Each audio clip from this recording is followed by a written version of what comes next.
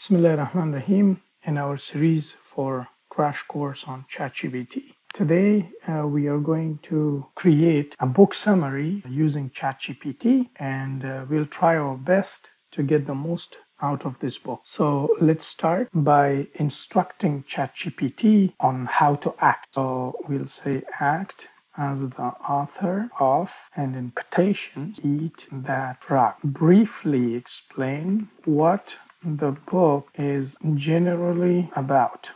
So, as you can see, in very general terms, it has provided a very beautiful explanation of what the book is about. Now uh, we will instruct ChatGPT to write a summary for us. Write a brief summary of the above book. Now we'll ask ChatGPT to list a few highlights from the book.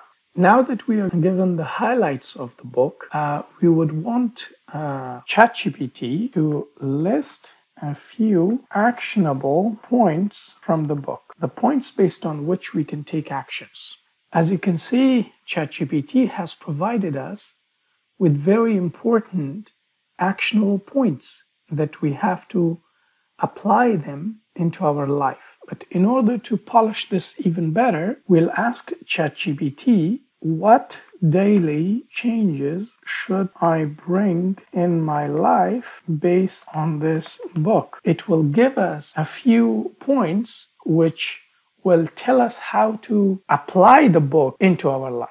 Now we'll ask ChatGPT a further step that can help us to teach other people using this book. So we'll pose the question what can I teach others from this book? This will help us discuss the details of the book with other people uh, and it will give us some actionable points that are hot topics for discussion. And now we will ask ChatGPT to write a takeaway from reading this book. Obviously, uh, you can take these points and uh, you can convert this into a video or um, you can use this summary for your blog and also for other social media platforms. And if you want, you can ask ChatGPT to give you a video description and video narration in order to make a video of this book summary. And then you can publish it on YouTube so that you can make money using this technique. Thank you very much for watching. Next time, we are going to discuss how we can use ChatGPT to help us with our assignments,